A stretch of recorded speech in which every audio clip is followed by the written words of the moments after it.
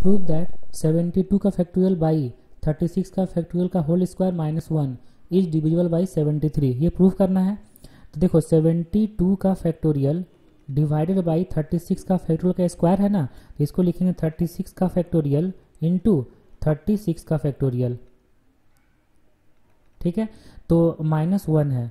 तो ये जो आ गया है, ये इसको लिख सकते हैं ऐसा क्या? Seventy two C thirty six ठीक है? क्योंकि इसी का फॉर्मूला ये होता है और माइनस वन लिखा हुआ है।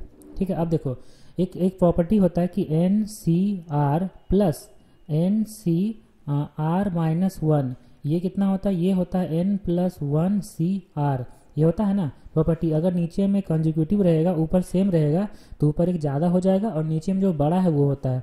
तो इस प्रॉपर्टी का हम यूज़ करके seventy seventy two C thirty six है। तो देखो एन सी आर है ना? एन सी आर इसको क्या लिखेंगे?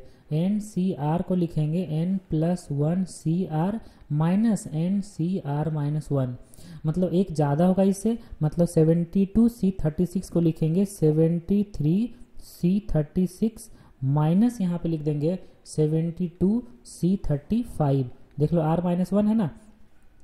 तो यहाँ पे लिखते हैं seventy two C thirty six को लिखेंगे seventy three C thirty six minus seventy two C thirty five होगा और माइनस वन का माइनस वन है। इसके बाद फिर से हम लिखेंगे seventy two C thirty five है ना? इसको इसी फार्मूला से, इसी फार्मूला से। तो ये हो जाएगा seventy three C thirty five minus seventy two C thirty four होगा। एक कम हो जाएगा।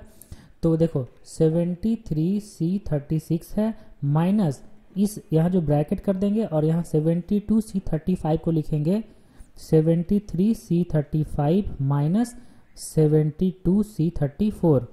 ठीक है? और माइनस वन का माइनस वन है। इसको थोड़ा सिंप्लीफाई करते हैं। देखो, seventy three C thirty six आएगा, minus seventy three C thirty five आएगा, और माइनस माइनस प्लस हो जाएगा, और यहाँ seventy two C thirty four हो जाएगा, लास्ट में माइनस वन है। और फिर देखो सेवेंटी थ्री सबको ऊपर में लाना है तो यहाँ फिर seventy two C thirty four है ना, इसको फिर से इस फार्मूला से हम ब्रेक करेंगे। जब इसको उस फार्मूला से ब्रेक करेंगे तो कितना होगा? देखो seventy three C thirty six है minus seventy three C thirty five है प्लस इसको लिखेंगे seventy three seventy three C thirty four minus यहाँ पे हो जाएगा seventy two C thirty three ठीक है? लास्ट में माइनस वन है। इसी तरीके से फिर से seventy two C thirty three है, उसको एक्सपेंड करेंगे। तो एक चीज़ नोटिस कर लो कि देखो, ऊपर में सबका सेवेंटी थ्री आ रहा है और नीचे में एक घटते जा रहा है। थर्टी सिक्स है थर्टी फाइव है थर्टी फोर है थर्टी थ्री है। एक चीज़ और कि प्लस माइनस प्लस माइनस जा रहा है। नीचे अगर ऑड है तो माइनस नीचे अगर इवन है तो प्लस इसी तरीके से जब हम कंटिन्यूसली चलते जाएँगे कंटिन्यूसली चलते जाएँगे तो आगे लास्ट में क्या आ जाएगा? Seventy three C thirty six minus seventy three C thirty five plus seventy three C thirty four minus seventy three यहाँ पे हो जाएगा सी थर्टी थ्री हो जाएगा प्लस इसके बाद क्या होगा? Seventy three C thirty two होगा। इसी तरीके फिर माइनस होगा, चलते जाएगा। कहाँ तक जाएगा? लास्ट में क्या हो जाएगा? लास्ट में हो जाएगा सेवेंटी थ्री सी ज़ीरो, ठीक? लास्ट माइनस वन का माइनस वन है। तो वहाँ तक एक्सपेंड कर दिया। तो वहाँ तक एक्सपेंड करने के बाद, देखो, ये जो सेवेंटी थ्री सी ज़ीरो ये वन होता है। और ये वन और वन कट गया। इसके पहले वाला जो टर्म है, वो लिख देते हैं। तो वो टर्म कितना होगा? Minus of seventy three C one होगा। तो ये सबको अगर लिखते हैं फार्मूला बैठा के तो ये कितना हो जाएगा? देखो सेवेंटी थ्री का factorial by seventy three minus thirty six तो ये हो जाएगा थर्टी सेवन का फैक्टोरियल इंटू थर्टी सिक्स का फैक्टोरियल ये होगा।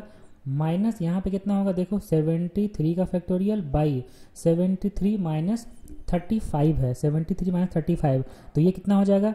ये हो जाएगा थर्टी थर्टी एट का फैक्टोरियल इंटू थर्टी फाइव का फैक्टोरियल ये होगा। प्लस यहाँ पे देखो सेवेंटी थ्री का फैक्टोरियल डिवाइडेड बाई और और यहाँ पे हो जाएगा थर्टी नाइन का फैक्टोरियल इंटू थर्टी फोर का फैक्टोरियल ठीक है? माइनस, यहाँ पे कितना होगा? सेवेंटी थ्री का फैक्टोरियल डिवाइडेड बाई फोर्टी का फैक्टोरियल इंटू थर्टी थ्री का फैक्टोरियल। चलते जाएगा ऐसे। इसी तरीके से लास्ट में ये जो ये है माइनस यहाँ लिखते हैं ना, यहाँ माइनस होगा।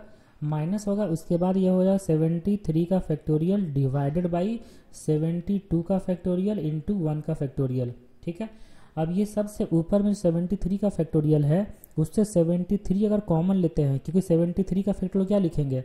73 का फैक्टोरियल को लिखेंगे 73 थ्री इंटू सेवेंटी टू का फैक्टोरियल लिख सकते हैं ना? तो 73 सब में आ जाएगा तो 73 हम कॉमन लेते हैं।